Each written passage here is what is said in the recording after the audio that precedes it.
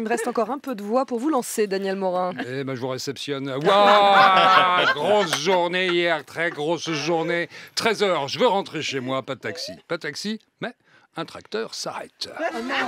Un tracteur de la manif des agriculteurs qui me klaxonne et dont le conducteur me dit Je te reconnais, tu es Daniel Morin, tu es le mari de Baroque. Nous, on l'aime bien, Eva. Elle est jolie comme une endive. Allez, vas-y, grimpe. Il m'a ramené à la maison. On a mis 8 heures. Alors, 8 heures, 8 heures assis sur le capot, j'avais les fesses en miettes. hein. Une fois rentré, j'écoute les infos. Bénéfice record pour 2022 avec près de 20 milliards d'euros. Total Énergie fait exploser les scores. Ah Mais pourquoi? Pourquoi? Why? Pourquoi Varum quand je pense qu'il y a 4 ans, je voulais acheter des actions totales et que Mathilde m'a dit euh, Non, le pétrole c'est mort, hein. dans l'avenir, investis dans la charcuterie, mets tout ton pognon sur Fleur et Michon. Mais bordel, Mathilde Il n'y a plus que toi qui achète du pâté en croûte en France Il n'y a plus que toi et le conseil municipal de Châteauroux pour te faire plaisir J'aurais pu faire un paquet de blé avec les dividendes de Total. Eh ben non Comme d'hab, je vais avoir le cadeau de fin d'année de chez Fleur et Michon, le panier du cochon, mortadelle, jambon, saucisson, ça, plus le cadeau coca, le préservatif qui fait coin quoi. Je suis dégoûté.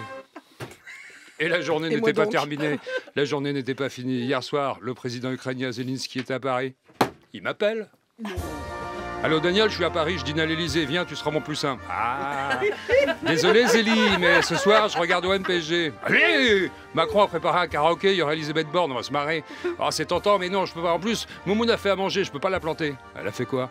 En entrée des curliers, en plat des chipsters. Waouh Le cordon bleu Je peux venir c'est délicat, Zélie. J'ai personne pour ta sécurité, ça craint. Bah, appelle Claude Guébal, elle fait peur à tous les terroristes. Ah non, non, non, je peux pas. Ce soir, elle est prise. Elle, donne- elle donne des cours de self-défense à des ours. Tant pis. Bon, je te laisse, faut que j'aille au karaoké. hein. C'est dans le jardin, puis il y a Elisabeth Borne qui grelotte, elle est déguisée en Britney Spears. N'importe quoi. Moi, vous avez pas vu les images, moi je les ai. hein. Journée de dingo, je vous le dis. Bon, allez. Pour conclure, j'ai envie de saluer cette brillante, brillantissime idée de Netflix. Ils vont produire un dessin animé dont le héros est Elvis. Elvis, qui n'est pas chanteur dans cette série dessin animé, mais détective. Trop bien Ah bah si la mode prend à savoir choisir des méga stars pour devenir des héros de fiction détective, eux là, je peux te dire qu'à côté, ceux qui attendent dans le studio voisin, ils seraient parfaits La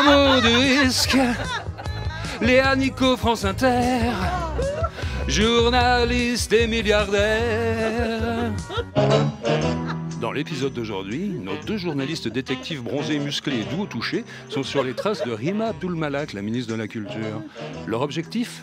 La séquestrer à 8h20, puis la harceler de questions jusqu'à ce qu'elle craque et accepte une augmentation de budget de 3 milliards d'euros pour la radio publique.